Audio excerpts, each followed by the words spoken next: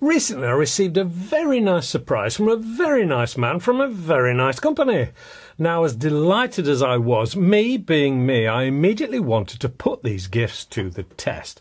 How do they compare to old traditionals and new favourites? So, it's FX Hybrid Slugs versus JSB Hades versus Standard Diablos.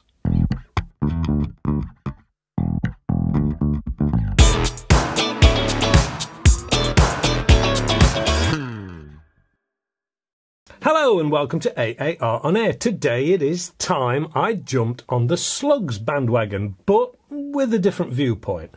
I wanted to know how good they are. Are they up to all the hype that we've heard? And how do they compare to cheaper expanding pellets and the billion year old Diablos? This review has to be completed without bias, and the only way I can see that is possible is by simply using facts figures and results. Naturally, I'm going to be looking at accuracy and I will be getting Mrs. AAR to cook up some ballistic gel to check out the deformation characteristics. I want to know what they do to power levels, not only from the barrel but down range. To see if they hold onto the energy more efficiently at point of impact than the competition does. And of course, I will be looking at them in an FX gun and a non-FX gun. I will be looking at FAC results and sub 12 foot pounds too. So, chrono work, target work and cooking all in the name of science and hopefully a bit of fun too. Let's start with a look at Exhibit a, the FX hybrid slugs. They come in packs of 100.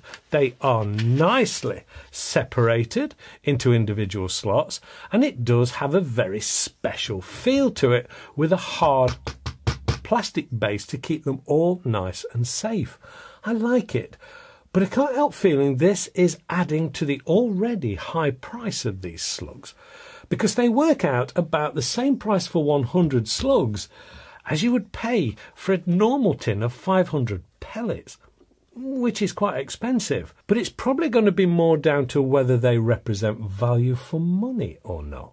First thing to do was to try them in an FX gun. I had one .22 caliber available at the time, the FX Impact Compact which was shooting a little hot. And because these slugs are 22 grains and in .22 caliber, the extra power may help a little. So, quite excitedly, I set everything up looking forward to see the results. And nothing. Nothing at all. Now, I had been told that they may not suit all barrels in sub 12 foot pounds, but I thought an FX firing north of 13 foot pound would be the one to do the job. Wrong. I now had a pellet stuck in the barrel and a careful job to get it out, so I didn't bother to try any more in the impact. So, what about something else? I tried them in my Daystate Pulsar, and they did fire. So it must be said that what I'd been told was indeed right. They don't necessarily suit all guns and all barrels. Now, before anyone asks, no, I don't have a list of all the guns that they will fit. This is a trial and error situation, I'm afraid. Right, to me then, it would appear these are pretty much intended for use in FAC and higher power guns. So at this point, I'm keen to get some results. It was straight to my FAC Huntsman Regal. They fit perfectly into the Daystate magazine and don't catch at all. Then, trying to load them, they are very tight.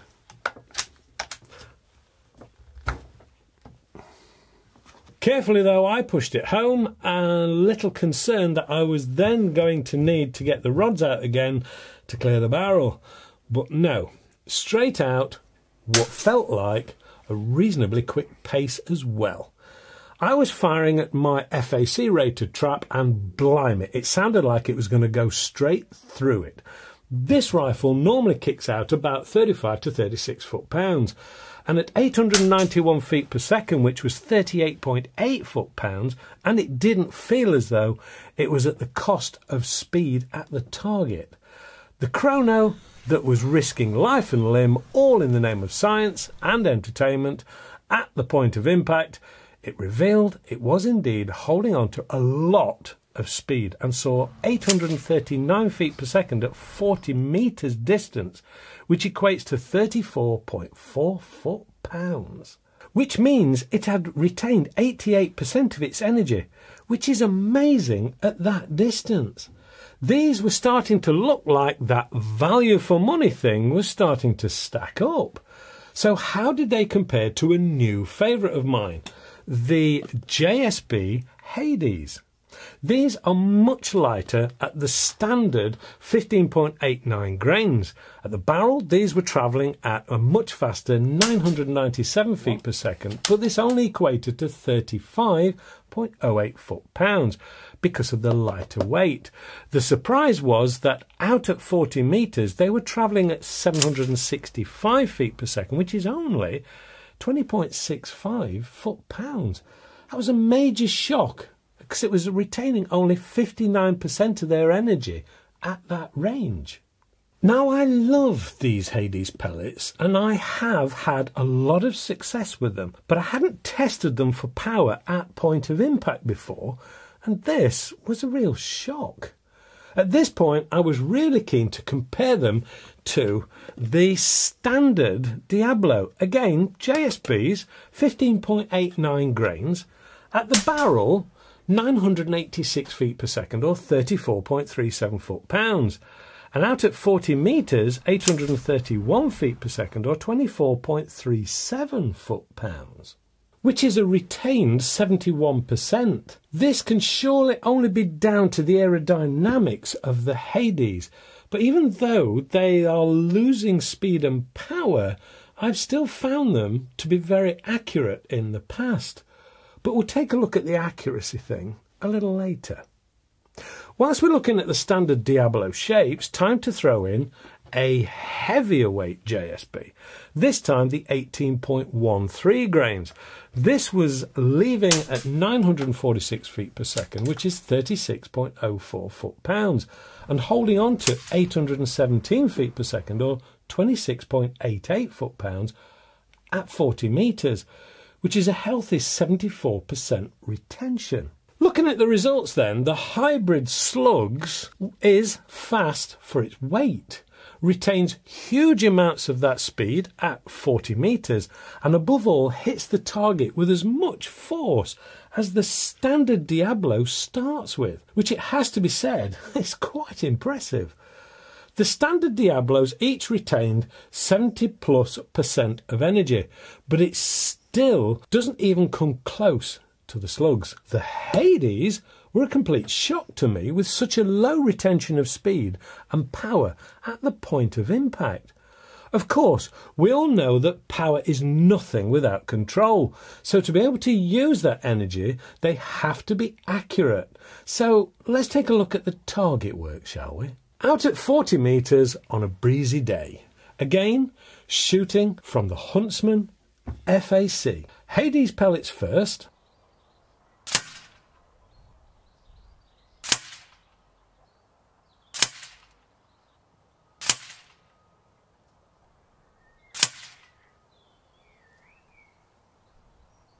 Yes, as I've experienced in the past, not bad at all. And I have, on better days, had tighter groups than that. 15.89 grains next, standard Diablos.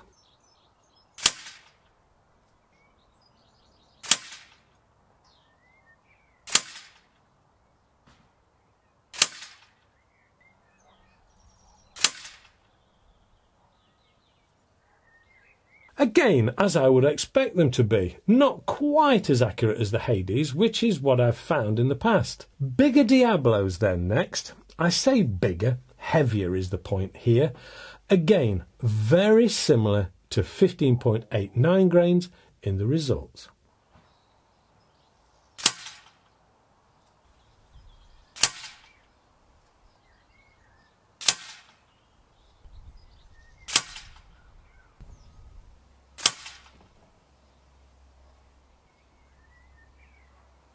Okay, now the slugs. No fancy liners here. These are hybrids, which means they're supposed to shoot from standard barrels just as easily.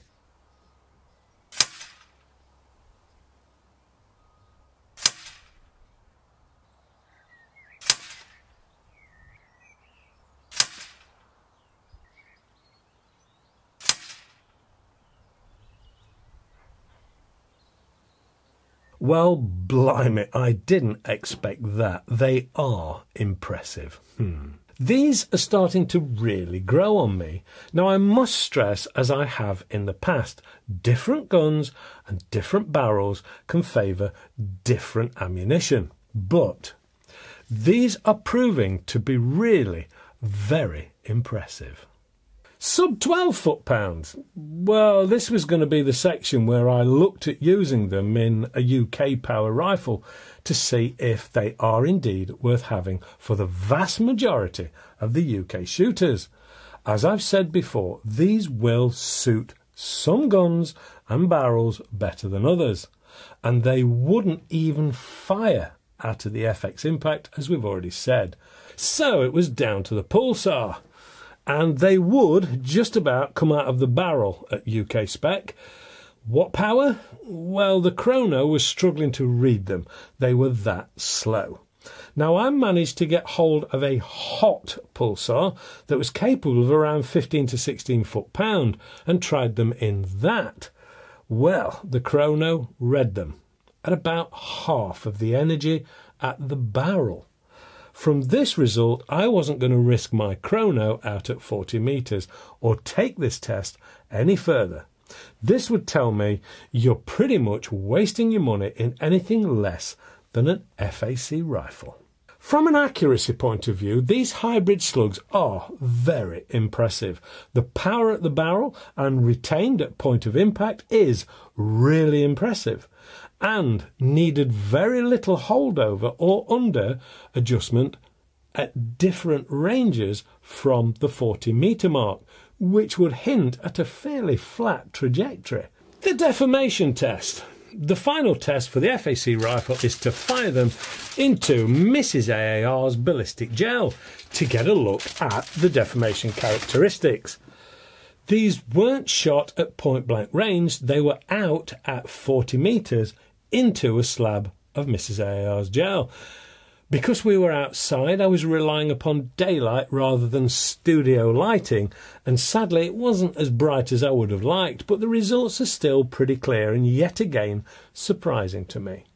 First in was the FX hybrid slugs, and these are the ones that carry most energy at the target. They came to a halt after only nine centimetres. They made a very clean entry wound with rippling and shock along the way. The next up in the test were the Hades pellets, a bigger entry hole, travelled 12 centimetres into the gel and left shock and deformation of the pellet.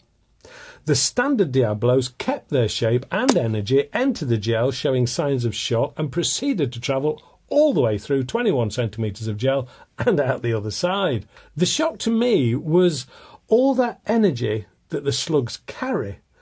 The depth of penetration was the lowest, which means all that energy has dumped itself in the target, which is pretty much exactly what you want. Hard hitting and heavy energy dumping. The Hades, as usual, opened up at the front, slowing them down and dumping that energy by deformation. The slugs, on the other hand, deformed so much they turned themselves inside out, causing the dump of energy.